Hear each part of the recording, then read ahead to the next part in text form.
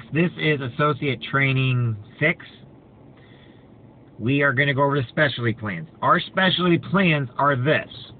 Outside of our regular legal plans and identity theft plans, which we have family legal plans and individual legal plans, we have identity theft legal plans, individual legal plans, we have group rates, and we have the regular rate.